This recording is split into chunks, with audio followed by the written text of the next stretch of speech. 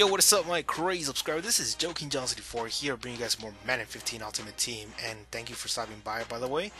Today, we're going to be completing another horror set for the most feared section of the set collection, and the reason why we're going to be completing another one is because there was another solo challenge that gave you three more badges towards the most feared uh, set collectibles.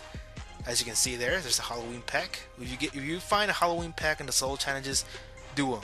They're going to give you three more badges of uh, for towards the most feared uh, collectibles.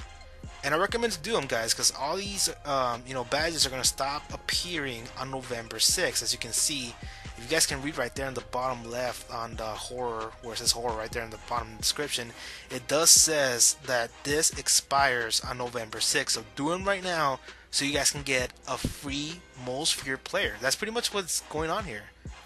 And if you don't like them, just send them to auctions or trade them out. So um, let's see who we get. at to set. Here we go. Wish me luck. Hopefully we get like a Vince Wilfork or Anthony Barr. I seen Anthony Barr. That guy looks freaking beast. Six foot four and a fast mofo. God damn it! I ended up getting Ike Taylor. Yeah, there's no way this guy has any use. He's super slow.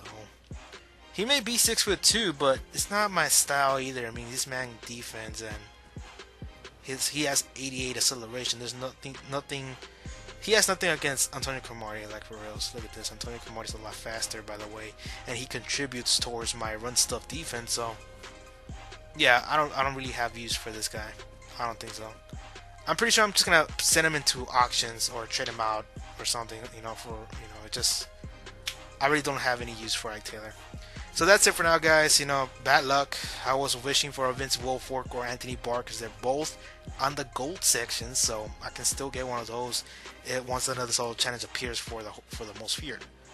And I recommend to do them, guys. Do them right now so you guys can get a free player. I recommend it.